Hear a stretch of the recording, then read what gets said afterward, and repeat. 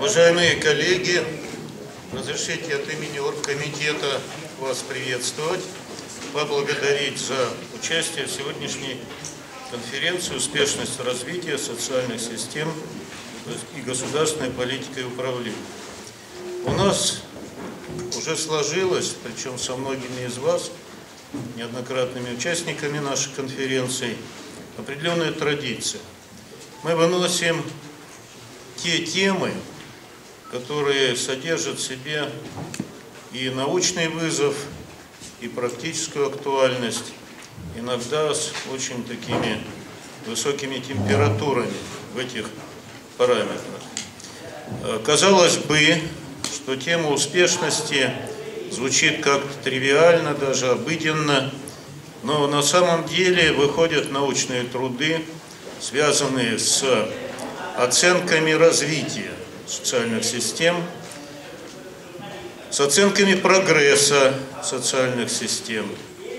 Но мы видим новые горизонты соединение простых методов индексирования развития с вызовами государственного управления, с вызовами общественных рефлексий и вновь управленческих воздействий на сложную социальную систему.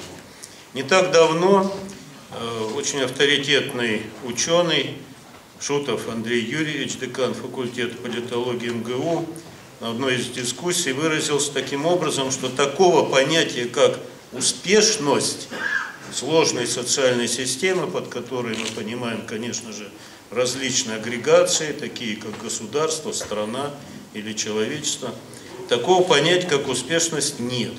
Мы пригласили его сегодня на конференцию, надеюсь, он еще, возможно, подойдет. Есть или нет такое понятие, есть или нет такой вызов. Э, всем кажется очевидным, что понятие успешного человека тривиально. Здоровый, оптимистичный, с хорошей семьей, заработком, карьерой, психологически позитивный, правда, всем понятно и естественно. Но человек может и заболеть, может и умереть. Возникает представление вот о полюсах позитивности, негативности понятия. Успешный человек. Но социальная система в одном из методологических научных подходов, которые мы назвали, предлагая его активизацию в научном обороте, витальной теории сложных социальных систем, по аналогии возникают похожие вызовы.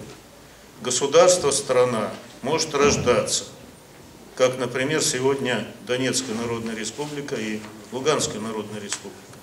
Могут болеть, в том числе смертельными болезнями, которые заканчиваются смертью, как, например, для СССР в 1991 году, или Бог знает, чем такая болезнь закончится для нашей сегодняшней России. Для человека известны параметры температура 36,6, правда? Все знают. Частота ударов сердца 60 ударов в минуту. Давление там 130 на 80. Здоровый показатель. Если они отклоняются, то возникает необходимость их коррекции для того, чтобы вновь вернуть человека к состоянию э, успешного. А что определяет здоровье страны? каковы для страны, для государства понятия правильной температуры, правильного сердцебиения, правильного давления. Возможно ли найти такие показатели, мониторируя которые и управляя факторами воздействия на которые, можно управлять страной так, чтобы она была здоровой, богатой, а не бедной, больной. Успешность страны в более общем плане сложной социальной системы – это более чем актуальная и состоятельная научная тема. Это и есть предмет нашей сегодняшней научной конференции. Очевидны вызовы научной новизны, научной актуальности и значимости, практической значимости.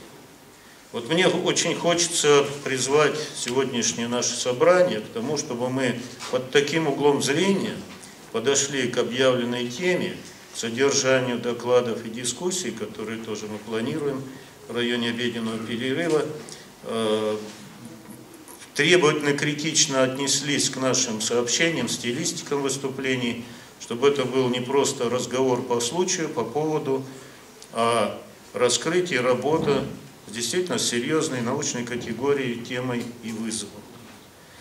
Мы не будем с вами никаких резолюций принимать, но я надеюсь и от имени Оргкомитета выражаю надежду, что те находки, те наши коммуникационные обмены идеями, результатами, перспективными предложениями найдут отражение, как это называется, в научном обороте, станут достоянием более широких кругов, в том числе, возможно, общественных, медийных кругов, и как-то, может быть, внесут малую толику в те поиски в нашей стране, поиски и экспертных, научных кругов, и политических, государственных руководителей, как все-таки управлять Россией, чтобы она была успешной.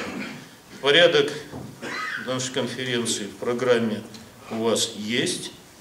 Я лишь, как всегда, опять по традиции прошу извинить за такой, в кавычках, корыстный замысел, выражающийся в том, что два первых доклада специально готовились для того, чтобы создать палитру вызовов и э, направлений обсуждения, они будут более длительными.